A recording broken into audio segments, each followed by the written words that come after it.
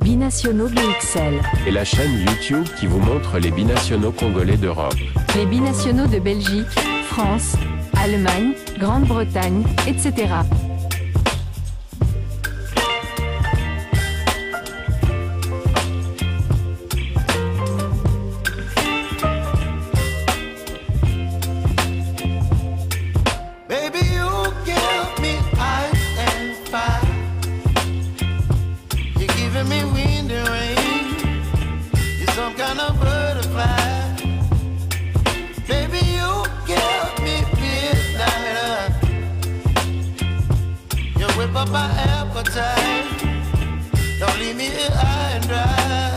Bonjour à tous, euh, bienvenue euh, sur euh, Binationaux BXL, la chaîne consacrée aux binationaux, hein, aux internationaux et les binationaux de par le monde.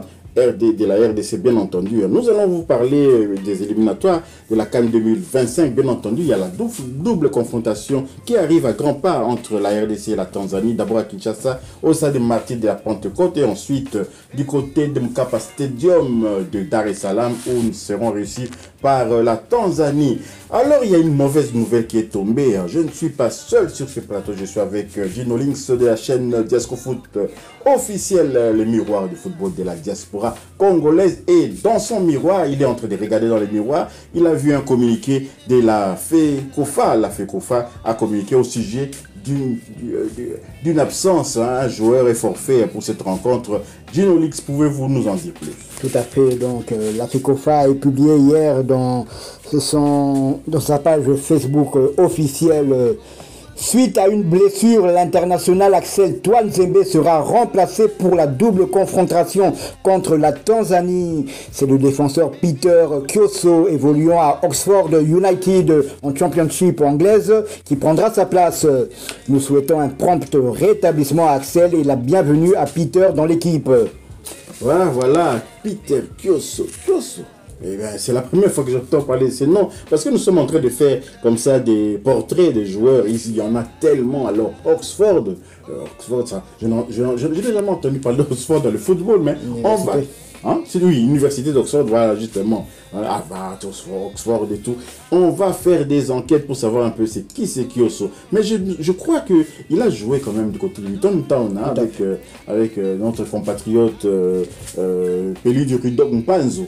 Et donc peut-être qu'on avait vu pas au hasard comme ça, tiens, Kyoso, est-ce qu'il est congolais ou pas? Mais voilà qu'il est sélectionné directement par Sébastien Desabre et nous nous posons la question est-il éligible déjà pour la RDC A-t-il déjà joué avec notre sélection Et c'est Kyoso. Euh, co- comment c'est passé les négociations sans que euh, on, puisse être au courant des, manèges quand même de Sébastien Desabre Ça nous surprend agréablement parce que vraiment on a envie que euh, Sébastien Desabre puisse nous ramener un maximum de binationaux qui vont apporter un plus. Nous voulons devenir comme le Sénégal aussi.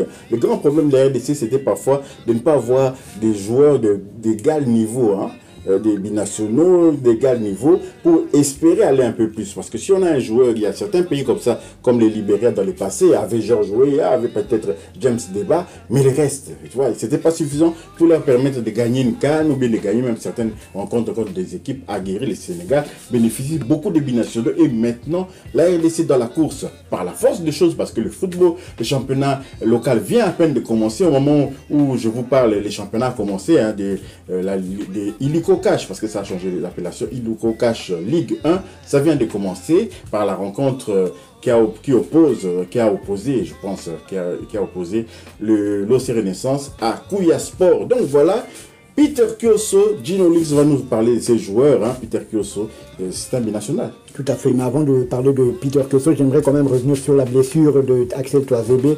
C'est quand même un coup dur. hein. C'est quand même un coup dur, bien qu'il n'ait joué que trois matchs. hein. Trois matchs sur les quatre der- dernières rencontres de, des Léopards. Mais je peux, je peux dire que c'est un titulaire en, en puissance. Il est titulaire non seulement dans son club d'Ipswich, des clubs où il a, malgré la mauvaise passe de son club qui n'a pas encore gagné euh, en première ligue anglaise, bon, ils ont perdu les deux premières rencontres. Ensuite, ils ont enchaîné avec quatre matchs nuls. Il faut dire que lors des deux premières journées du championnat, ils ont, ils ont dû faire face à Liverpool et à Manchester City. Excusez du peu.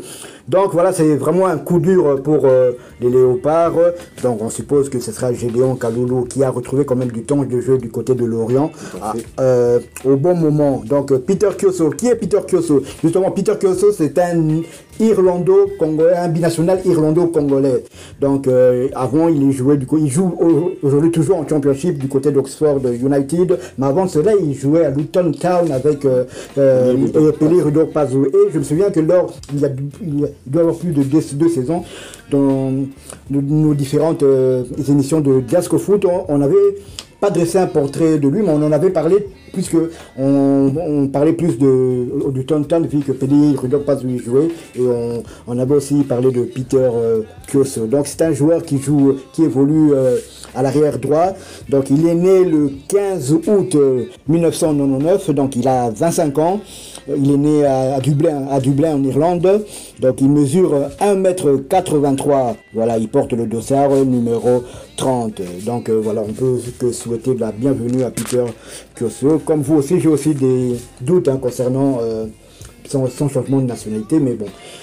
Avec Sébastien de Sabre, tout se fait en silence. Donc on, a- avait aussi des doutes pour Ngalael Mouka euh, lorsqu'il était arrivé avec euh, Nathanaël Mboukou, mais ils étaient déjà éligibles. Donc je pense que en amont, tout ce travail a été fait avec euh, Sébastien de Sabre. Ah oui, tout à fait. Ce serait une très bonne chose. hein. Et puis d'ailleurs, même pour euh, l'infortuné Toazembe, c'est- ça s'est passé aussi de la, même manière. hein. On avait l'impression qu'il devait encore franchir plusieurs étapes dans, l'homologation par la FIFA, mais lui, il avait pu jouer même hein, contre le Sénégal, souvenez-vous. Et donc, euh, on s'est posé la question, qui pour remplacer? On n'a même pas eu le temps de se poser la question, que les sabres déjà nous a balancé le nom de Peter Kioso. Mais Gédéon Kaloulou, comme vous venez de le dire, eh ben, il est en forme. Il est même dans l'équipe type de la dernière journée du championnat. Donc ça, c'est une très bonne nouvelle. Après tout, nous jouons aussi à domicile contre la Tanzanie. On ne joue pas contre le Maroc ou bien contre euh, le, le- Qui encore, encore? Je peux citer quel pays qui peut nous faire peur euh, Ah. actuellement, à part le Maroc. Parce que le Ghana, on voit le Ghana, quel Ghana Je sais pas. Les mi-figue, mi-raisin aussi le Cameroun. hein. Je ne sais pas quel pays peut nous faire peur à l'heure actuelle sur la scène africaine. Mais méfions-nous quand même du football africain. Et donc, Généon Kalou devrait normalement être titularisé pour cette rencontre. On va, en attendant d'en savoir un peu plus, parce que même le coach de, de cette formation de, de Oxford, je pense, il n'a pas encore vraiment euh, conclu exactement de quoi souffre, euh, non pas Non, non, Oxford, non, mais Ipswich, Ipswich. parce que nous parlons de 3 Justement, il n'a pas encore vraiment communiqué là-dessus, sinon on serait au courant. Là, on a appris ça un peu comme ça, à la volée. Et donc, euh, ces joueurs, c'est Peter Kioso, il n'est pas un métis, hein, parce qu'on dit irlandais, on imagine directement que non, c'est il a un des parents qui est euh, euh, irlandais de souche, hein, mais non, il est congolais de père et de mère, hein, sauf qu'il est né à Dublin, donc ça lui a accordé cette nationalité. Une autre chose que nous allons vérifier également, c'est de savoir si exactement Peter Kioso a déjà joué une rencontre euh, chez les jeunes ou bien chez l'équipe senior d'Irlande. Vous avez peut-être une réponse je ne sais pas, je vais vite vérifier grâce à la page euh, Wikipédia. Donc euh, je ne pense, mais je ne pense pas, même s'il avait joué, je crois que si euh, Sébastien de Sabre euh, le sélectionne, c'est que bon, il- je crois que son, son, son casier est vierge euh, de toute sélection irlandaise et apparemment je ne vois pas, je ne vois pas de sélection, je ne vois pas de sélection. On parle même pas, on fait même pas une allusion à une sélection, Sélection. en, en équipe nationale irlandaise. Donc ça devrait aller très vite, ces changements de nationalité. Si c'est déjà fait, ok, bravo alors à toute l'organisation autour de, de Léopard. hein. Nous saluons Doland aussi, vraiment team manager, qui fait son boulot en silence, sans faire trop de, de, tralala comme euh, certains prédécesseurs, on va pas citer les noms. Donc voilà, nous sommes arrivés à la fin de ce sujet hein, concernant l'absence de Axel pour la double confrontation contre la Tanzanie. Si vous avez aimé, merci quand même de partager cette vidéo, hein, cette information. Il faut partager cette information pour que les gens ne viennent pas les jours J poser la question pourquoi Toazembe n'est pas là? Vous, vous êtes au courant, partagez l'information, commentez également, donnez votre avis sur cette question. Et puis, surtout, n'oubliez pas de vous abonner, abonnez-vous à la chaîne euh, Binational BXL, activez la petite cloche de notification qui vous permettra de ne pas manquer les prochaines vidéos que nous allons mettre en scène, euh, en- nous allons mettre en ligne hein, sur notre chaîne. Et euh, Binational BXL vous dit Au revoir. Binationaux BXL. Et la chaîne YouTube qui vous montre les binationaux congolais d'Europe. Les binationaux de Belgique, France, Allemagne, Grande-Bretagne, etc.